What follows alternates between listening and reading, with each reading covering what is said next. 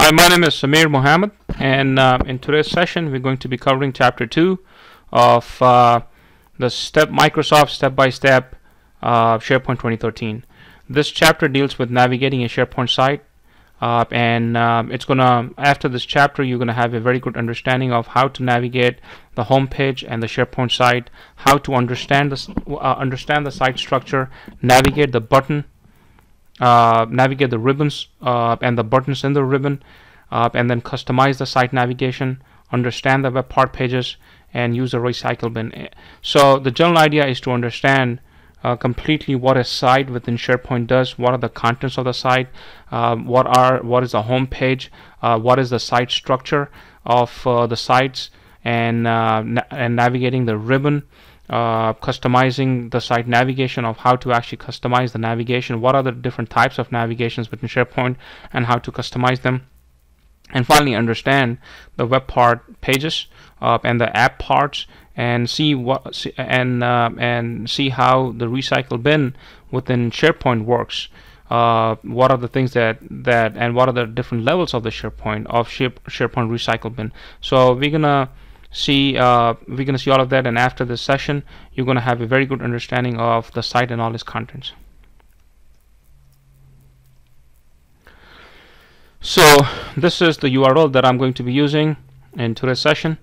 Uh, and uh, the password the, the general password is uh, is what you see right now. Just make sure that you have uh, Lauren SP and then the slash that you have is exactly what has been mentioned over here okay. Uh, any other slash is not going to work. Anything in front of the slash is basically uh, the uh, is basically the domain name. Uh, it's the domain name in which the SharePoint server is running. And after that is basically the username. And this is the password it's case sensitive and that's a capital S.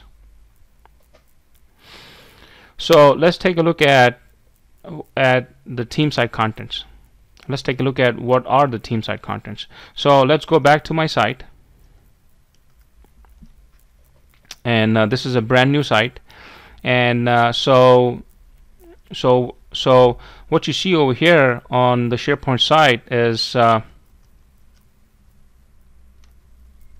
what you see on the SharePoint site is always going to be on lists. And uh, these are announcements.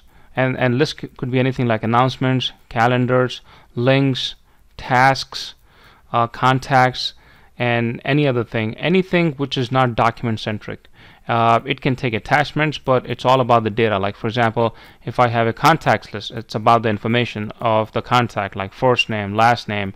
Uh, they can be one or several different documents uh, you know which are uh, which describe more details about the contact but it's mainly about the contact itself. So that's the reason it's known as a list. So it's stored as a list.